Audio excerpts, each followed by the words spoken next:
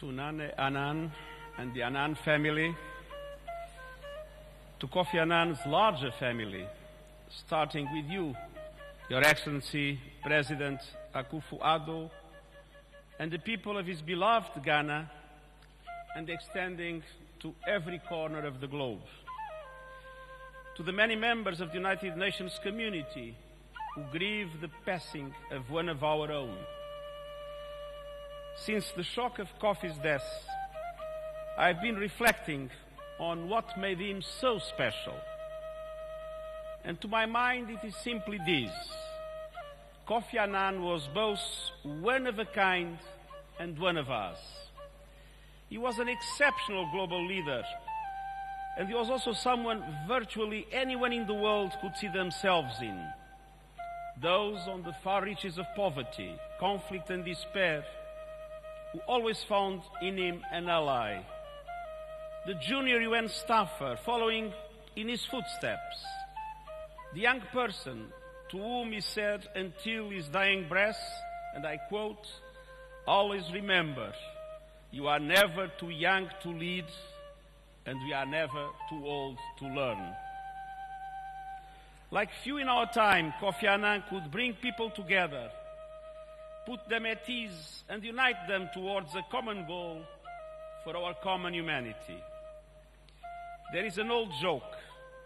The art of diplomacy is to say nothing, especially when you are speaking. Kofi Annan could say everything, sometimes without uttering a word.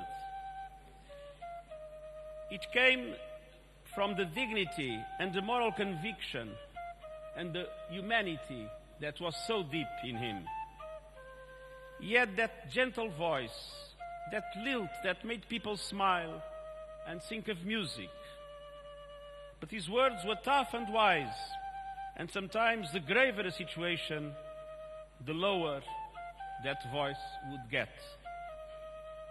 We would lean in to listen, and the world would lean in, and we were rewarded by his wisdom. Kofi Annan was courageous, speaking truth to power, while subjecting himself to, incense, to intense self-scrutiny. And like his predecessor, Dag Hammarskjöld, he had an almost mystical sense of the rule of the United Nations as a force for good in a world of ills. All of these added up to a remarkable record of achievements. He pioneered new ideas and initiatives, including the Millennium Development Goals and the landmark reforms in his report In Larger Freedom.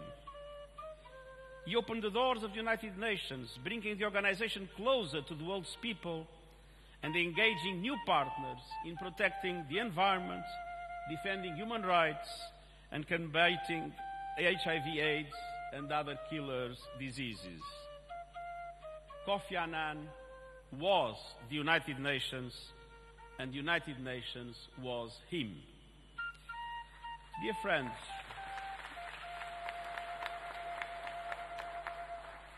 Kofi Annan was also a good friend for me. We marched together through life in many ways. When the people of Timor-Leste were seeking self-determination, we worked together he from the United Nations and I from Portugal, to support the peaceful resolution of their plight. When the UN Refugee Agency needed new leadership, Kofi blessed me with his trust in asking me to fill that role and then provided unwavering support to protect and shelter the most vulnerable of the vulnerable.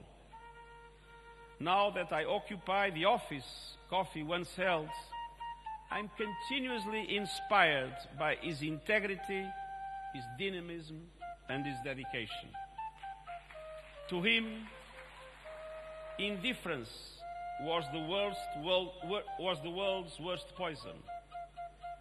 Even after finishing his term as Secretary General, he never stopped battling on the front lines of diplomacy.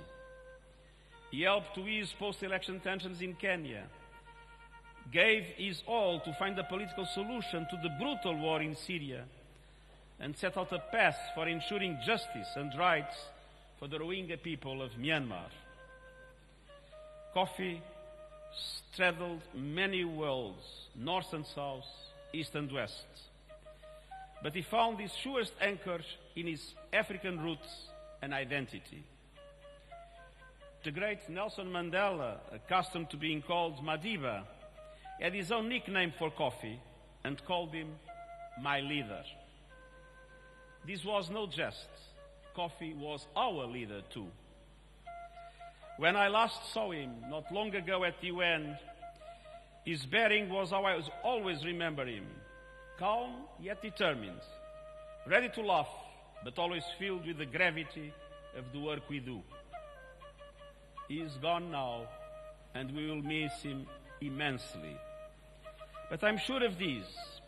If we continue to lean in and listen hard, we'll still hear the words and wise counsel of Kofi Annan.